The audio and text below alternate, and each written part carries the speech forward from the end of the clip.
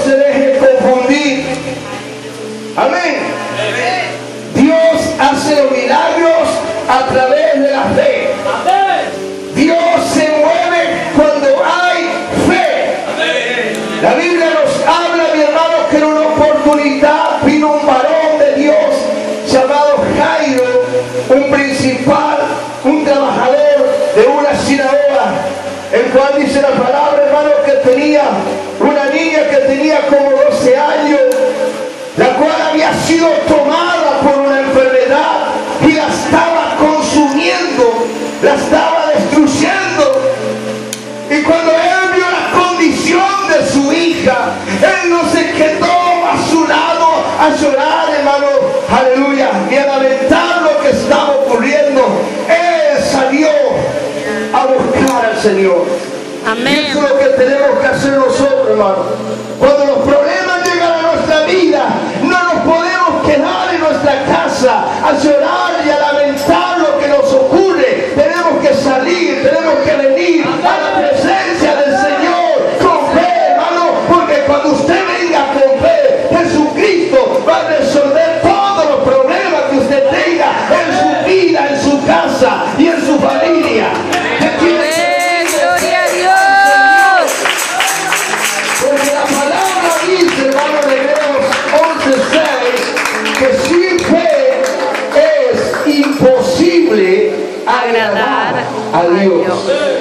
Yo no sé cuántos quieren agradar a Dios.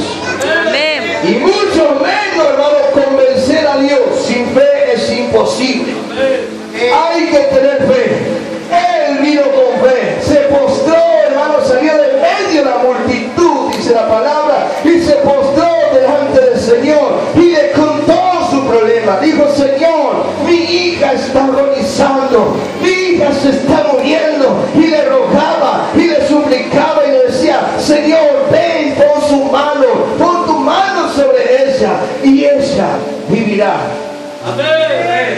Y Jesús dijo, yo iré y le sanaré. ¿Sabe por qué lo convenció? Porque él vino con fe. A veces nos preguntamos y a veces lamentamos, ¿por qué Dios no me escucha? ¿Por qué Dios no responde? ¿Por qué Dios no me sana? ¿Por qué Dios no me liberta? ¿Por qué Dios no me da fuerza? ¿Por qué Dios no me da alegría? Cuando yo estoy triste, angustiado, hermano,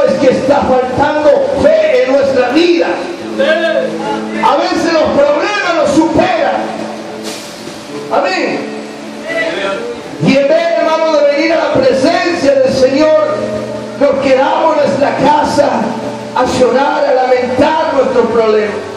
Y a cualquiera que a veces se nos acerca le contamos, hoy tengo una lucha, un problema. Amén. No, no. Usted tiene que decir, tengo problemas, pero tengo un Dios grande. Amén. Tengo Gloria a fe de que. Dios no me va a dejar tirado. Tengo fe de que Dios me va a levantar. Tengo fe de que Dios me va a sanar. En algún momento Dios me va a ayudar. Esa fe tiene que mantener usted. Pablo dice estar firme en la fe. No hay que flaquear en la fe, hermano. Cuando vienen los problemas, no se preocupe. A veces los problemas suelen ser una bendición para los hijos de Dios que tienen fe. De que Dios va a hacer algo glorioso. De que Dios va a hacer algo grande en su vida. Amén. La Biblia nos habla también de una mujer, hermano, que hacía 12 años padecía de una enfermedad de flujo de sangre, derramamiento de sangre, una enfermedad crónica que la ciencia médica no pudo hacer nada con esta enfermedad, ni el dinero que ella tenía, hermano, pudo hacer algo por ella. Dice que aún le iba peor. Quedó la pobreza, quedó la miseria esta mujer. Dio todo cuanto tenía, hermano, para que alguien hiciera algo por ella. A veces hay mucha gente así, hermano, que paga los brujos, van a los curanteros y pagan todo el dinero que tienen para que hagan algo por ellos y se terminan muriendo, hermano, porque no pueden hacer nada. Amén.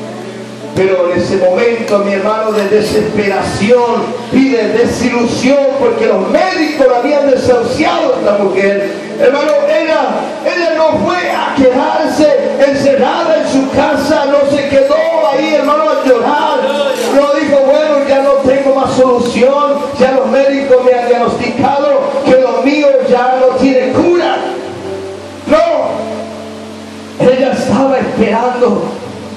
esperanza. Y alguien le habló en los peores momentos de su vida le habló de Jesús. Amén. O ella, ella tenía que decidir darse una oportunidad o encerrarse en su casa, hermano, esperar a que la muerte lo llevara. Pero ella se dio una oportunidad. Enseguida activó su fe y salió en busca del maestro. Dar con el maestro en aquellos tiempos, hermano, no era fácil, porque el Señor Jesucristo no estaba quieto en un lugar. Jesucristo andaba de un lado para otro, porque esa era su misión. Aleluya. Y esa también tiene que ser nuestra misión, hermano. No nos podemos quedar quietos en un solo lugar. Tenemos que movernos, tenemos que salir, porque hay gente con necesidad. Hay gente, hermano, que están esperando que alguien le dé una palabra de esperanza. De alguien le hable que hay alguien que puede resolver sus problemas. Aleluya, que el hombre no puede. Y ese es el único que va a resolver los problemas de Jesucristo. Dice que Él no ha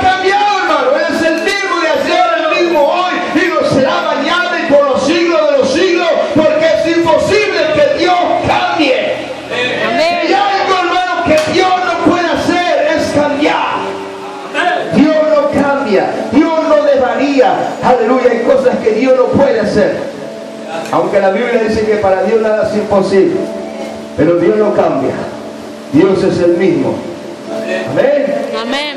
Tiene el mismo poder. Tiene la misma virtud.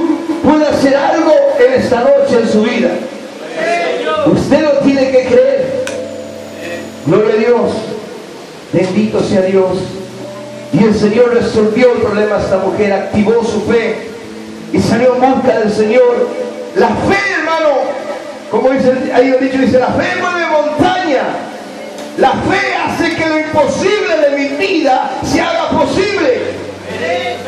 Era imposible dar con el maestro en aquellos tiempos, pero él tuvo un encuentro con el Señor a través de la fe. La fe lo llevó al Señor Jesucristo, lo llevó,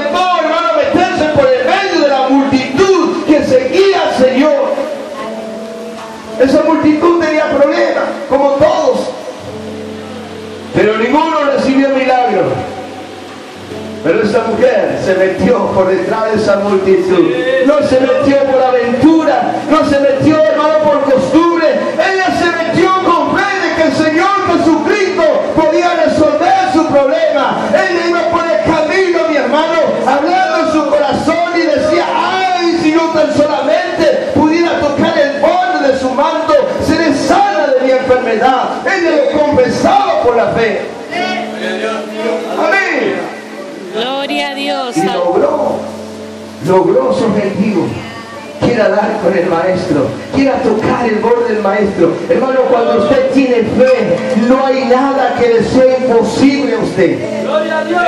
Las cosas son posibles. Jesús dijo, para el que cree, todo le es posible. No hay nada que le sea imposible, mi hermano. Si hay algo que usted ha dicho, no, mira, vos no tenés más remedio, no tenés más cura, rechace ese, ese, ese, gloria a Dios, ese dicho negativo, mi hermano. Amén. Pues el diagnóstico eh, negativo. Confíe en lo que dice el Señor. Amén. Gloria a Dios. Aleluya. Amén. Cree solamente, dice el Señor. Mantén tu fe. Él dijo, el que cree en mí, aunque esté muerto, vivirá. Mira. Amén. Aunque esté muerto, vivirá. ¿Sabe que hay gente que no puede encontrar una explicación, hermano, en la situación en que se encuentra? Amén, cuando los médicos le habían diagnosticado que le quedaba pocos años de vida y todavía siguen vivos. Hace poquito hoy estaba hablando con una mujer que le estaba haciendo un trabajo. Le digo, ¿te acordás Valeria? Le digo, cuando vos estabas mal una época que yo fui a trabajar en su casa, yo no sabía que tenía cáncer, pero ella pidió que oráramos. Y oramos por otro hermano, hermano que está en misiones, que se llama Rafael, también para la iglesia del pastor Aníbal. Y para la gloria de Dios, hicieron mi hermano análisis esta mujer. Ella estaba llorando lamentando porque en una oportunidad los médicos ya le habían diagnosticado que era serio el problema y ya estaba lleno de, lágrimas sus ojos porque tenía que hacerse otro análisis. Y me contaba, yo estaba ahí afuera del hospital, me pasó algo tremendo, apareció un doctor con ropas blancas. Yo no pude reconocer mucho su rostro, dice, porque yo estaba muy angustiada, estaba muy desesperada. Amén. Y me dijo, ¿por qué lloras? Y ella le contó el problema. No llores, dice, quédate tranquila y hacete los análisis. Y se hizo el análisis y estaba bien. Amén.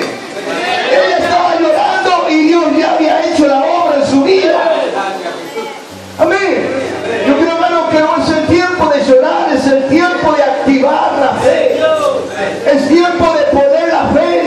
Hermano. Como esta mujer. Esta mujer recibió la sanidad. Y fue a través de la fe. Porque más tarde usted puede ver que Jesús le dijo, amén. Paz, tu fe te ha salvado. Aleluya. Tu fe te ha salvado. Si hay algo, hermano, que nos va a salvar a nosotros, es la fe personal que nosotros tengamos en el Señor. No espere nadie más. La gente que no tiene fe espera en otro. Amén. Usted ponga fe, ponga en marcha su fe. Usted tiene que tener fe en el Señor. Venir a su presencia. No venga a decir hoy va a ser un culto más como siempre. No, no, no. Usted diga hoy va a ser un culto distinto. Hoy va a ser un culto diferente porque sé que Dios va a hacer algo en mi vida. Y si puede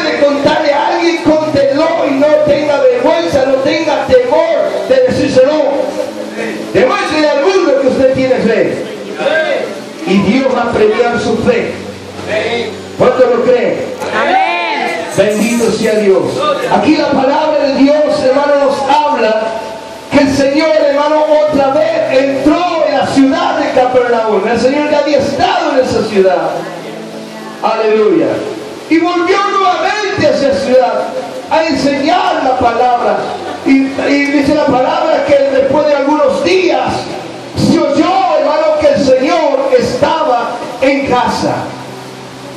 Bendito sea Dios. Y se juntaron, hermano, mucha gente de aquella ciudad de tal manera que no había lugar, hermano, ni siquiera la puerta. Bendito sea Dios. Había mucha gente que estaba reunidos escuchando el mensaje. También eran gente, hermano, con problemas, con dificultades como nosotros. Estaban escuchando.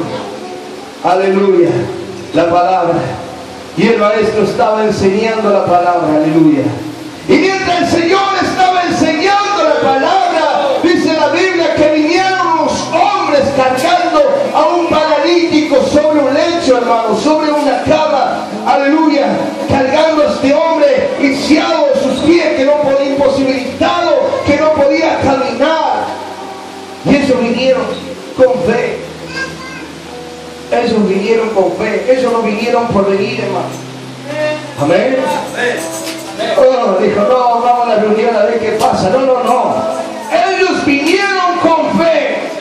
Dijeron, vamos a llevar, no sé si era amigo de ellos o era un alma que ellos habían ganado, pero dijeron, vamos a llevarlo al Señor Jesucristo. Ellos tenían un objetivo, una meta que era llegar al Señor. Y como le digo hermano, llegar al Señor no es fácil.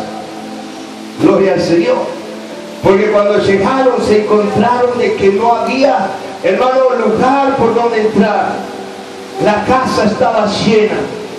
Jesús era una figura importante, hermano. Jesús movía multitudes. Amén. Jesús movía multitudes, hermano. Bendito sea Dios. Y entonces, hermano, era imposible entrar por la puerta. Pero ellos no se quedaron ahí afuera. Aleluya. Ellos buscaron una manera, buscaron una fórmula para poder llegar al Señor y comenzaron a pensar y a ver qué podían hacer. Alguien se le ocurrió, dijo, vamos por arriba. Amén. Tal vez algunos dijeran, bueno, estos están haciendo algo, algo que no está bien hacer. Porque la palabra dice, hermano, que el que no entra por la puerta, el ladrón y salteador. Ellos estaban entrando por otro lugar, por el techo, hermano.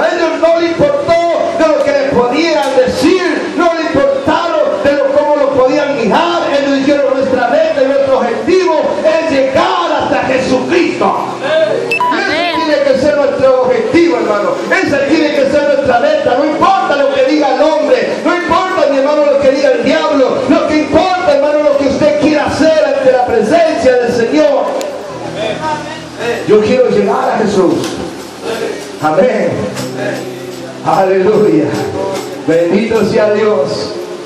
Gloria al Señor. Y descubrieron el techo, mi hermano. Y bajaron al paralítico. Justo en el lugar donde estaba el Señor. Amén. Y cuando el Señor, dice la Biblia, hermano, que vio, ¿qué vio el Señor? No vio a estos hombres, no vio al paralítico que estaba bajando, vio la fe de ellos. Aleluya. Cuando vio la fe de ellos, se dirigió a este hombre que estaba postrado. Le dice, hijo, tus pecados te son perdonados. Amén. Oh, estos hombres, yo creo, hermano, que estos hombres estaban esperando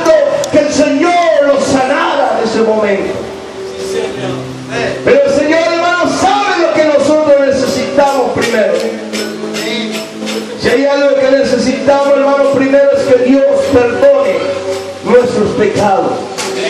Porque el pecado muchas veces, hermano, es el causante de todos nuestros problemas y dificultades que nosotros tenemos en nuestra vida. Y Dios sabe, hermano, lo que realmente afecta a nuestra vida. Amén. No se preocupe, tal vez diga, pero ¿qué ir a hacer con mi enfermedad? Amén. Gloria a Dios. Dios quiere perdonarle en esta noche. Yo no sé cuántos realmente reconocen, hermano, que hay falta en su vida. Cada uno es consciente, mi hermano. Aún la Biblia dice, hermano, que no hay ningún justo que haga el bien y nunca peque. Amén. No hay ni siquiera uno, dice el Señor. Y si Dios lo dice, hermano, es porque Dios sabe. Él conoce nuestra vida. ¿Cuántos saben eso? Amén. Él conoce mi vida, Él conoce su vida, Él conoce su obra, Él sabe lo que usted hace. Si usted mira cuando el Señor habla a la iglesia de Apocalipsis, Él conoce la obra de cada iglesia. Dice, yo conozco tu obra, sé cómo tú eres. No, pero Señor, yo soy bueno. No, no, no, no, no hay ningún bueno.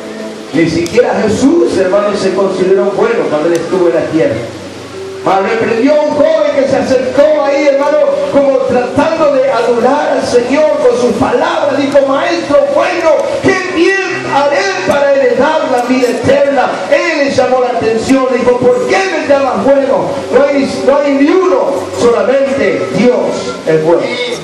Amén. Dios es bueno. Amén. Dios es bueno. Bendito sea Dios. Y Él quiere perdonarte. Él quiere hacerte libre. Amén.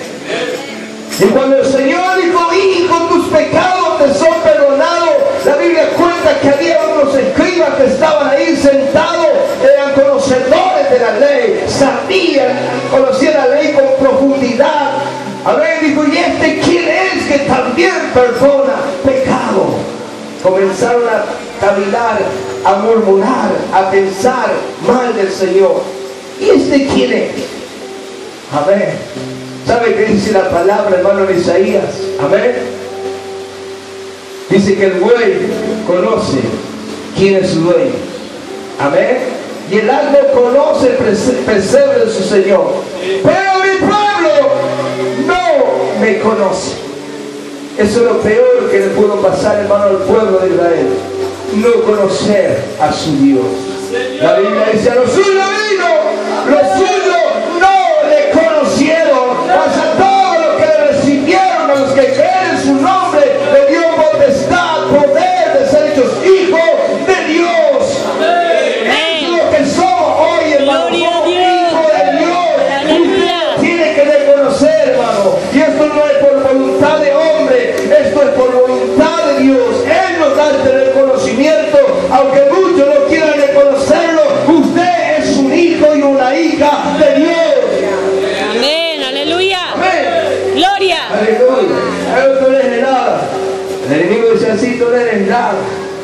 Amén. Nadie te tiene en cuenta. Esto es mentira, hermano. Dios te tiene en cuenta. Dice que Él te tiene en las palmas de tus manos, de su mano, mi hermano. Amén. Estamos en las palmas de las manos de Dios. Y lo que está en las manos de Dios, nadie lo puede arrebatar. Nadie lo puede tocar. El diablo sabe que no te puede tocar, hermano, porque tu vida está en las manos de Dios. Ahora cuando usted se sale de las manos de Dios, corre riesgo, corre peligro de ser tocado por el enemigo. ¿Verdad? Dice que él anda como león rugiente buscando a quien devorar. ¿Verdad? Y él no se devora a los que están adentro, se devoran a los que se quedan afuera. No se queda afuera, mi hermano. Tiene que venir a la presencia del Señor. Amén. Estos hombres no se quedaron afuera con sus problemas, con sus dificultades. Llegaron al Señor. Aleluya. Y el Señor resolvió su problema. Amén. Amén. Aleluya. al Señor. Él tiene la, la solución a todos nuestros problemas, mi hermano. No se preocupe. La Biblia dice que para Dios no hay nada imposible. Todas las cosas le son posibles. Pero solamente Dios está esperando que alguien venga con fe. Con fe. La fe abre camino donde no hay. La fe hace que lo imposible de mi vida se haga posible. Amén. Amén. Gloria a Gloria al Dios. Señor. Que esta mujer, cuando había tocado al Señor, se escondió. Nadie lo sabía, pero el Señor lo sabía, porque Él sabe todas las cosas. Dijo, alguien me ha tocado. Y los discípulos dijeron,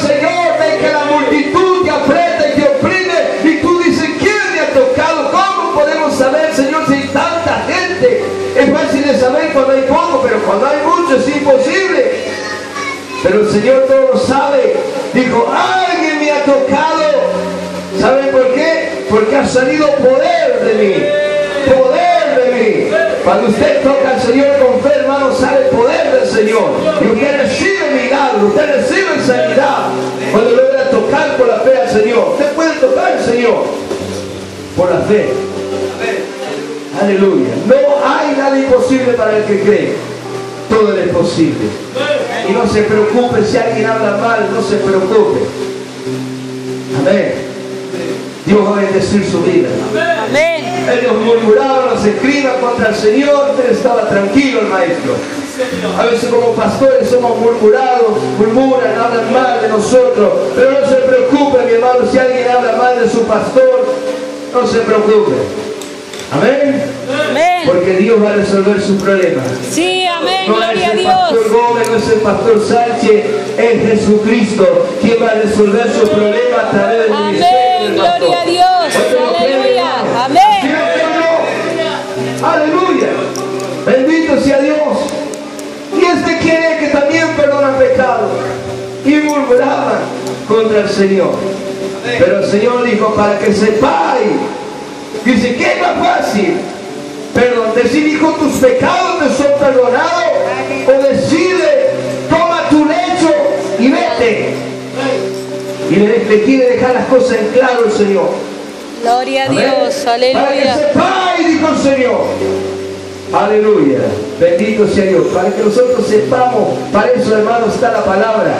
Para que usted entienda, para que usted comprenda, hermano, que el Señor tiene todo el poder, toda la autoridad en los cielos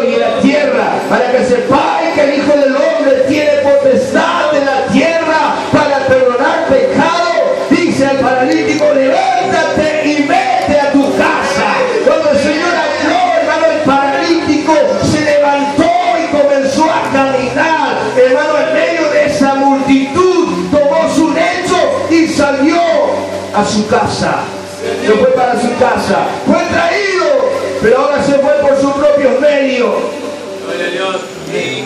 Muchas veces hemos traído por alguien a la presencia de Dios y luego nos vamos solos. No sé si usted le ha pasado, pero muchos han venido traídos por alguien, pero después se fueron solos y sanos. Para la gloria de Dios. Gloria a Dios. Así, hermano, muchas personas han sido traídos con enfermedades, con problemas, y el Señor lo ha sanado. Y eso va a acontecer, hermano, eso va a pasar en este lugar. Pero usted tiene que creerlo. Amén. Porque si usted no lo cree, no va a pasar nada. Va a ser como esta gente de Capernaum. Ellos estaban cansados de venir a la reunión y siempre lo mismo. Pero en esta reunión fue distinta. Porque ellos llegaron a decir, asombrados viendo cuando este hombre recibió el milagro, nunca hemos visto tal cosa. ¿Por qué no vieron? Es que no tenían fe. Amén. Si usted mira la historia de Jesús varias veces, hermano, él reprendió a, los de Capernaum y ¿hasta cuándo voy a estar con ustedes? Generación incrédula. Cuando libertó a un muchacho que era endemoniado,